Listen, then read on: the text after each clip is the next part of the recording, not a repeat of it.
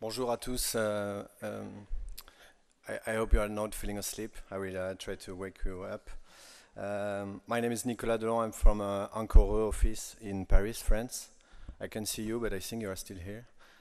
Uh, my presentation will lean on uh, what we do. We are a small office with a selection of projects and also uh, about uh, how we manage to do. Because talking about future of design for me is also a question of talking about future designers. And uh, I will try to share uh, the strategies and the tactics, uh, maybe no difference between both. and I got 87 slides, so fasten your seatbelt. Uh, this is a place where we work. It's a small shop in the center of Paris. It's close to the street. And uh, this is people we're working with um, in a very, uh, very team strategy for all kind of projects. This is where we are working, so close from where we are close from where the office here, and also south of France because we came from there, and recently some project in Europe and uh, and in Asia too. This first graphic shows a different uh, kind of project and um, and uh, they categorize. Uh, we are not we are against categorize, but uh, we are we think it's important to to show like this from 2001 to now. We are three main fields: architecture, art installation, and design. Uh, but we will see later that we are uh, we try to remove these boundaries between these fields. This other one is maybe more important. It's about um, the responsibility of designer, not just to answer a question, but also to initiate and to uh, and to work in a prospective way. So you can see the two colors. One is response, and the other one has a proposal. So we'll take five projects as our response and uh, five others as our more proposal. Uh, the first one, Herbefolie, was a small art installation in uh, using the air from the metro on Paris, and we just add some light fabrics, uh, stripes, uh, using uh, energy that is already here, and just putting these small pieces of fabric, just changing the place and changing the site. And that was our first project, very important one, and we do it without any authorization, like like we want to do, we want to act. We're still at school, but we want to get in reality. So the response uh, from for a festival in Brussels, uh, the question was to link two square. F one is very touristic one, and the other one was in a very poor uh, neighborhood. And they asked us to make an art installation between both. And we proposed a camel uh, transportation company uh, to make people moving from one side to other side uh, because the, there was also a question of tourism. So we designed a stage landing for camels and also we bring back four camels from south of France to uh, Brussels. So the, um, the result was very, um, I don't know, kind of collage of touristic practice in a city like Brussels with very touristic but with no dromedary. And uh, we also we can talk about transportation, about uh, future of transportation and all different things uh, on this starting point. And having a lot of fun doing, doing that too. Uh, Toboggan Olympic, there was a competition for uh, Olympic sign in uh, Paris for 2012, and the, the, program was one step uh, on the ground with an exhibition, and on the top uh, a place to see the future site. And we proposed to make a slide between both, like Olympic uh, tracks that we just blend, and it was a free effort. You can make a 100 meters race without running, and it was also the question of ad adding a use uh, for people, not just uh, waiting to come here because there is nothing to see. It's future Olympic site. So that was the response with that. Chinoiserie wa was um, a blank slate for a small architecture uh, uh, for a center of architecture in Bordeaux, south of France.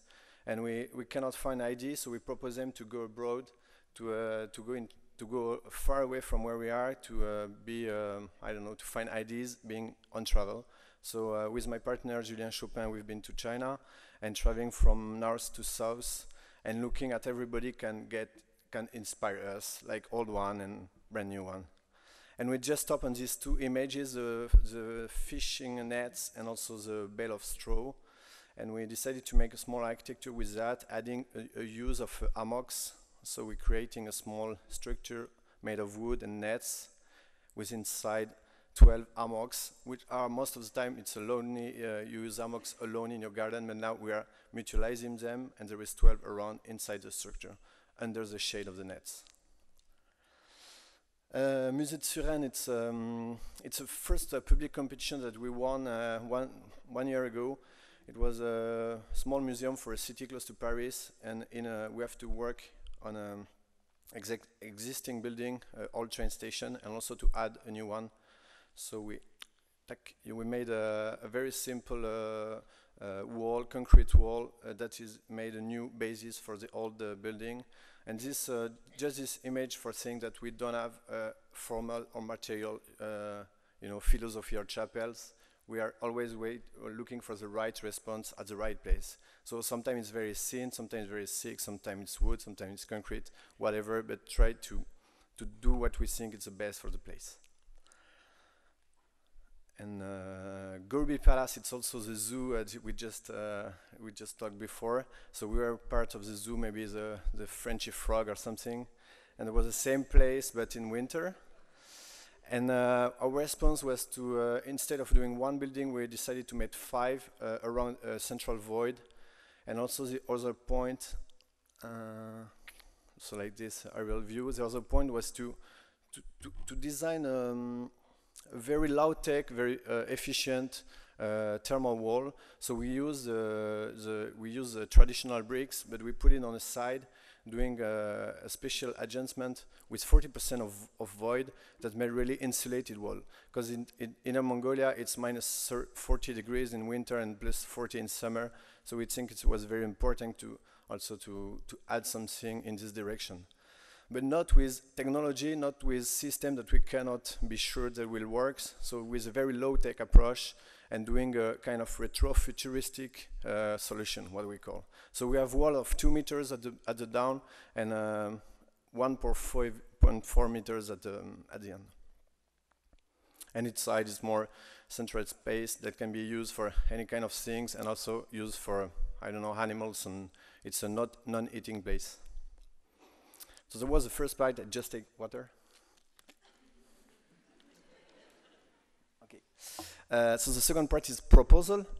The first one is Wagon It was our diplomas with uh, Julien, and he was using the um, uh, train courtyard to uh, to move a concert hall. So we were using elements that already exist, like a train and like a, um, a circus tent that we are redesigning and it became uh, it's a closed one and open one. So the story was to use uh, space that are not used uh, most of the time and also to use a special way of transportation, which is train. We, we really love the train. We don't know why, but we are really interested by this way of transportation. And uh, so there's an exterior view. And inside also the train is not just here to move the stuff, but also it's part of the inside. And this is a view from the entrance. So there was very uh, prospective project. We met uh, train companies and many of them, and for now it's not really existing, but we made different projects uh, due to this one. The Room Room project is project about emergency architecture. We're inviting by um, National Art Museum of China to uh, think about shelters and emergency uh, architecture. And we made many studies about different places, and we, we found that um, most of the time, even if it's a natural disaster, political disaster, or social disaster, uh, people uh, became homeless, and and homeless is a is uh, where you can have a safe place to sleep. So we wanted to work on this starting point, a safe place to sleep, and we designed a small architecture that you can move alone, uh, or by bikes, or with animal. And there is three positions. One is to move, the other one is to sleep, and the last one is to stay and uh, you are just turning the, the flipping the, the box. So these are uh, image simulation. Also, the idea is to make the first room of the future uh, of the future dwelling, the future shelter, and not just something that you will remove after. And maybe it will be the safer room of your uh, future uh, house.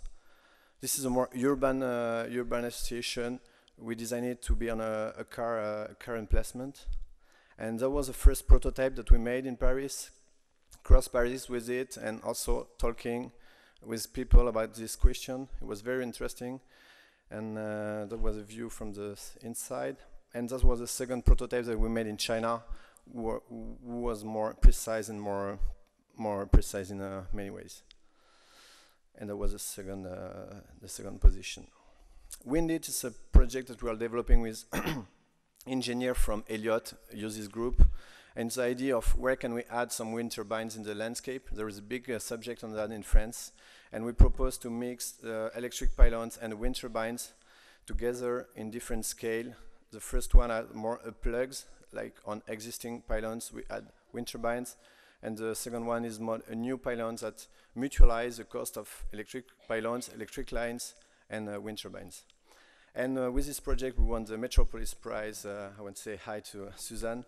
And it was also an important point for this project that we just work on it know, on our side. And uh, with this time, we are now getting further to develop in a very different, uh, good direction. So there was also uh, just a code for that. And so interesting by the, the state, um, the state state of the electric uh, grills uh, were very bad and also very, um, there is big question about that. So we try to work on superposition of uh, power grids and also wind potential. And the last project is Mongolia Urban Studio. Uh, four days ago, I, was in Ulaanbaatar, Mongolia, with students from École Spéciale d'Architecture. And we were there to uh, look at a unique situation of the capital of Mongolia with uh, very strange city. And half of the city is made of yurts, uh, settlement, that's nomadic people that, that come in town. And uh, we look at this image and on Google Earth, and so we've been there by, by ourselves, and now we are working with uh, schools there to start collaboration and uh, to start to think the future of this city, and uh, with the point that we don't want to do the future of our city, but we really want to work with them with their future and uh, a very uh, sharing experience. So it's a, um, it's a big uh, thing there, and a first step of we hope a long stay. And uh, this is a kind of uh, place with yurts, uh, with a very unique dwelling, like nomadic dwelling. And that was uh, the work we made there with students to make a sensitive, uh, sensitive map of a neighborhood in a small city uh, in north of uh, Ulaanbaatar. So we'll finish with this image. we really love it because for us it's picture it's example of using more brain and less material, and that's one direction.